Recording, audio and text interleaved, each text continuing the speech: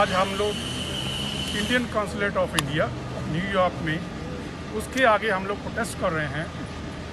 जो हमारी बहन यूपी में, हाथरस में, जिसका रेप किया गया, जिसको बहुत शद्दत दिया गया, बाद में उसको उसको इस प्लानिंग के तहत मार भी दिया गया। उसके लिए हम लोग आज यहाँ प्रोटेस्ट कर रहे हैं न्यूयॉर्क में इंडियन कॉन्सुलेट के आगे, और हम इसको बंद नहीं करेंगे, इसको और बढ़ाएँगे, इसको आंदोलन बना देंगे।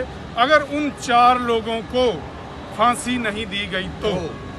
हम जो आप आप हमारे जो भाई बहन इंडिया में हैं, जो इस आंदोलन में हमारे साथ हैं, जो बढ़ा रहे हैं, हम उनको भी हौसला दे रहे हैं, हम उनके भी साथ हैं। हम उनको भी साथ लेके चलेंगे और ये अकेला न्यूयॉर्क तक सीमित नहीं रहेगा आंदोलन।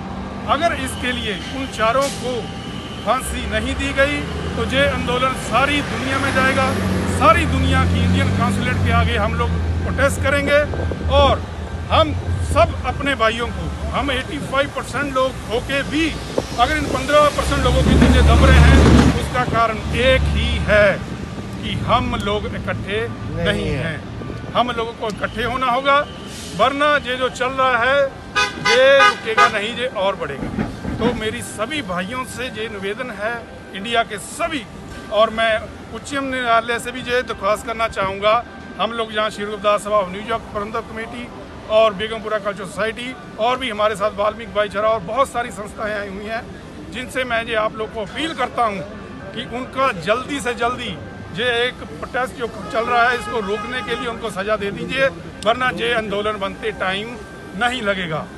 और और सबकी तरफ़ से हम लोग एक बार जकारा लगा देंगे हमारे। बोले ही सोनर पे महाराज की जय। जय भीम, जय भारत। भीम आर्मी, जिंदाबाद। भीम आर्मी, जिंदाबाद। जय भीम, जय भारत। साथियों